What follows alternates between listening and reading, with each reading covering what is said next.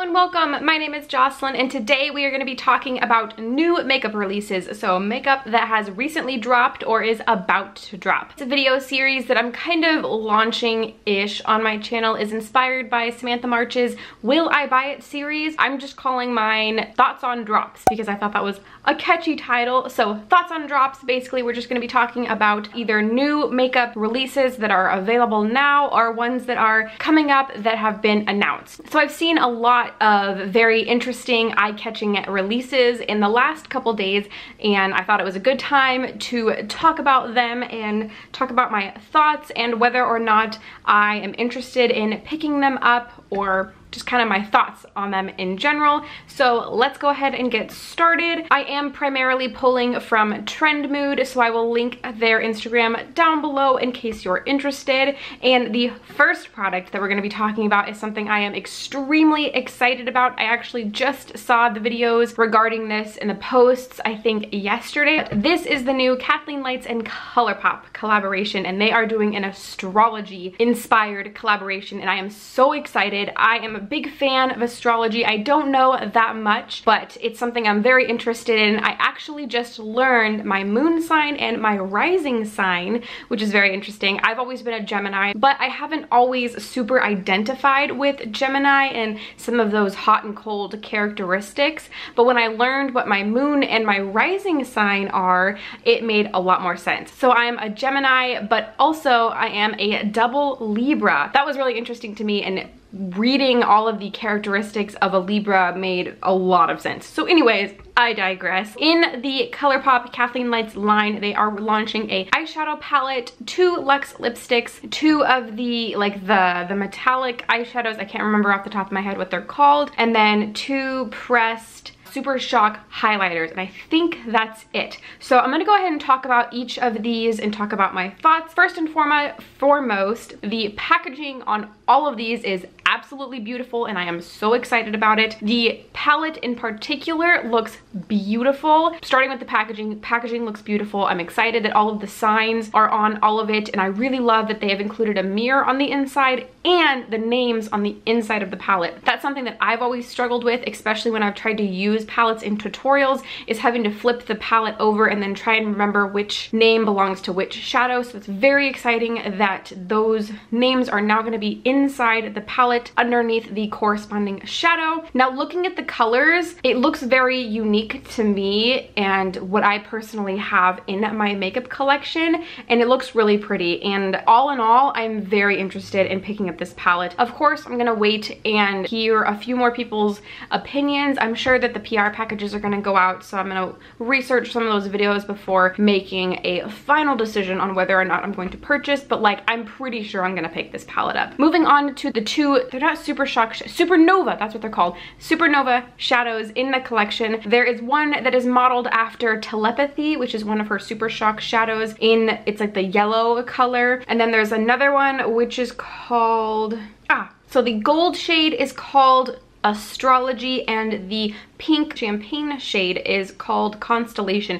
and I am very interested in that pink champagne shade. I have been wanting to try the Supernova shadows for a while and I've heard kind of mixed reviews about them but I'm very interested in that Constellation shade. That kind of shade, that pink champagne shade is one of my favorite colors to wear on my eyes so I'm very interested in picking that one up. Not so much the, the other shade, the astrology shade, it's just like not quite my tone or my jam. Moving on to the Super Shock highlighters, she has two available, one in the shade Fire and one in the shade On the Cusp. Fire is more of a golden shade and On the Cusp is more of a, how would you describe that? Like a pinky champagne color. Very interested in that one. I think I owned one Super Shock highlighter, but it was way too dark for me, so I hardly was ever able to use it, but I am very interested in picking up On the Cusp.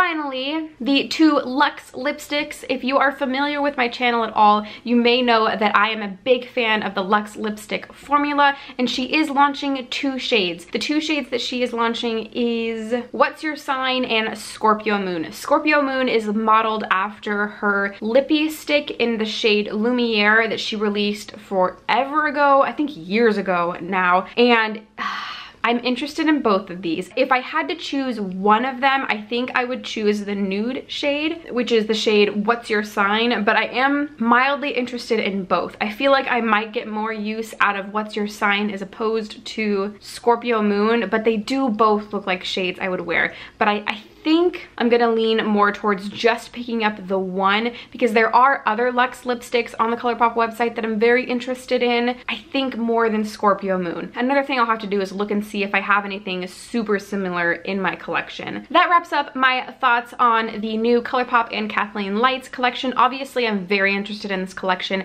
I love ColourPop. I really like Kathleen Lights and I'm very interested in quite a few of the products in this collection. Next, we're gonna be talking about another palette and this is a palette palette by Juvia's Place. So I recently did pick up two palettes by Juvia's Place, the Masquerade Mini and the Saharan 2 palette. This newest palette is called, I believe it's called the Afrique Afrique collection. I could be saying that to completely wrong. And the palette that they are releasing is very interesting. It's got a lot of warm toned shades in it and also a few pops of color. And oh, it's, it's just, it's got a weird array of colors in it. It does retail for $20, so not too terribly bad. But I've got to be honest, I just, looking at this, it doesn't interest me. It looks like a very odd combination of colors. I feel like I can feel a vibe from this that does feel very, like if I was walking through a village in Africa, these are the colors that I would expect to see. I don't know if that's kind of a weird thing to say, but that is the vibe that I'm getting and it feels like the vibe that they're going for. But just looking at it, I don't think I would enjoy a lot of the eye looks that I would come up with.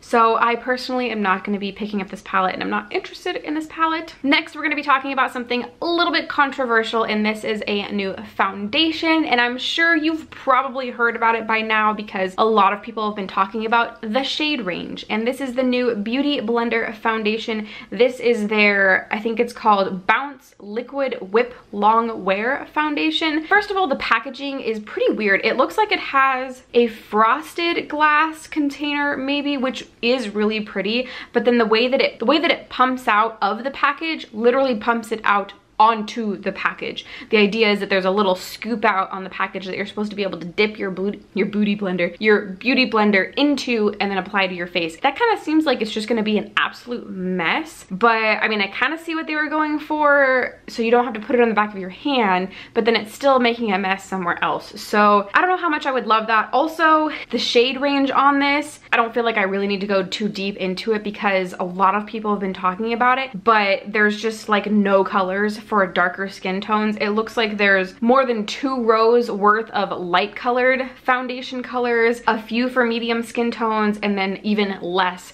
for darker skin tones, which with all of the backlash that Too Faced got with the Shape Tape foundation, you would think brands would have learned that in this day and age, people are not gonna be taking that anymore. We are gonna speak up and make a fuss when we don't think that everybody is being included in these shade ranges. So a long ways to say that I am not gonna be picking up this foundation, but even regardless of that, there are other foundations that are kind of at the top of my list that I really wanna try, and this is not one of them. Moving on to another palette, I did want to talk about this. I haven't really heard many people, if any, talk about this yet, but this is the new Urban Decay mini eyeshadow palette. This is their aphrodisiac palette. And I'm gonna be honest, like this caught my eye. It has got this really pretty range of colors and it looks like it has three mattes and three shimmers in it. Okay, let me first say that I don't think I'm gonna pick this up. And the only reason for that is, is because I feel like I have too many travel size palettes that I would prefer over this. However, this is beautiful, I think, personally. It's got some warm shade. Well, it almost actually has like cool tone shade. I don't know. I don't even like know how to explain my thoughts on this product. I don't actually know how much it's gonna cost. I'll put it on the screen because I, I don't see a cost on this yet. It is the same size as the Naked Basic palettes. This is one of them right here. So this is the Naked Basic 2. They have the Naked Basics 1, 2,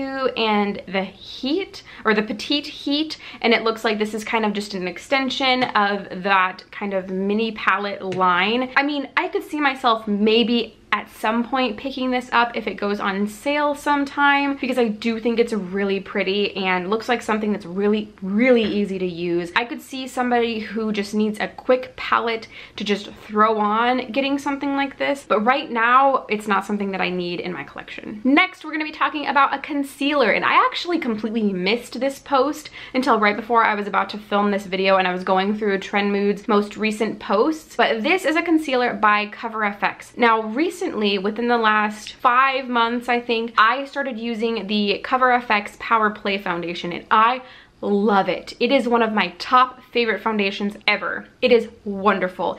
And they are coming out with a concealer, a Power Play concealer. Now, this concealer is $30, which is really expensive for a concealer. Like I feel as though the other ones that I've purchased are between like 21 and $26 and 30 is so much. That's really unfortunate that those are $30. I'm interested in them, but I just don't know if I could commit to 30 dollars so it does look like they have a pretty good shade range they have like a row of light and like fair to medium and then medium to dark. They have like a white white shade for extremely fair people and a very, very dark shade. It'll be interesting to see how dark this range actually goes, but there's a total of 30 shades in the collection. So that's pretty great. Also, it says that it is crease proof and full coverage and comfortable to wear all day. So it sounds pretty great, but it would have to be like top notched for me to be comfortable spending $30 on it. So we'll see. I'm I'm interested in it, but I'm gonna wait it out. Oh, I guess I could always get a sample at Sephora. I might do that and then wait for like the VIB sale to pick it up because again, I'm very interested. I love the Power Play foundation and you know, we'll see we'll see. Next, we're talking about another palette. This is also a product that prompted this video, and this is the new Anastasia Norvina palette, and I am so excited for this. So I have been waiting for a ABH palette release to build up my collection. So I have the Modern Renaissance palette and the, the Master palette by Mario, and I love them. I did skip over the last three, so Subculture, Prism, and Soft Glam. Subculture and Prism They just didn't speak to me. And then also there was all of that scandal with them and them not being very good. So I went ahead and skipped over those. The Soft Glam I was interested in, but it kind of bored me. So I ended up skipping over that just because I felt like I had too many palettes that I loved that were very neutral and pretty. I didn't really need that one. But this one, the Norvina palette looks kind of like everything I would want in a soft, purpley, wearable, pretty palette and I'm pretty confident that I'm gonna pick this up. I am waiting until it comes into Sephora, which I believe is early August. It has already released, I think, on the Anastasia website and maybe a couple other places. So people are already getting them. I'm very excited about this. I'm like 95% sure that I'm gonna pick this up. It would take a lot to persuade me not to pick it up. So there's a good chance this is gonna be coming into my collection in the next month or so. Next, we are gonna be talking about another foundation. So I have been looking for a drugstore foundation for a while now. There are only a handful, not, a, not only a handful, but there's, I would say, less than half of the drugstore brands are cruelty free. So like CoverGirl, Maybelline, Rimmel, L'Oreal, none of those are cruelty free. And those ones are the ones that unfortunately hold a lot of the really good foundations. So NYX is releasing a new foundation and I'm very excited about it. They have 45 whopping shades. So that's friggin' awesome. 45, that's crazy. And this is their Can't Stop, Won't Stop Full Coverage Matte Foundation. And I am very, very very interested in picking this up. So it will be available August 16th on their website and online at Ulta Beauty. Ooh, that's unfortunate. I wonder when it's supposed to be coming in stores because I would like to buy this in stores so I could shade match a little better. But I'm very interested in this. I don't see a price on it right now, but I mean, it's drugstore, so it's gonna be cheaper than a lot of the the high-end foundations that I'm using right now and I'm very interested in trying this out. I will probably be buying this. I might wait until it comes in stores though so I can better shade match myself, but I'm very interested in this. Next, we have another couple of palettes and okay, so let's go ahead and start. These are the new palettes by Laura Lee Los Angeles. So Laura Lee, YouTuber, of course. So I have not purchased anything from Laura Lee Los Angeles yet and I don't think I'm gonna be picking these up just because I don't think that they fulfill a space in my collection that needs filling right now. But thoughts in general on this collection, I really, really like the packaging. I love the triangles that are on the outside of the packaging. I like the layout, how it has six shades in each palette. So it has kind of a neutral palette and then also a bright palette. So there's those two. The more neutral palette is called Like a Boss and the more fun, bright colored palette is called Party Animal. The names are cute. I appreciate that. I mean, looking at the palettes, they look fun. They look pretty. I, I assume that they work well, but they're just, I don't know, not something that I'm really interested in. To get both of the palettes, it looks like it's $30. To get each one, it is $19. So each palette costs $19. I feel like I mean, $19 for six shades. I mean, I've definitely spent more than that on six shades, but I, I, think I would have been a little more comfortable with maybe a $15 price tag. That would have made more sense to me. And I guess if you do buy both of them together, it would be $15 each. So $30 for the two palettes. That feels a lot more comfortable to me than almost $20 a palette. But like I said before, I won't be picking either of these up. If I had to choose one of them,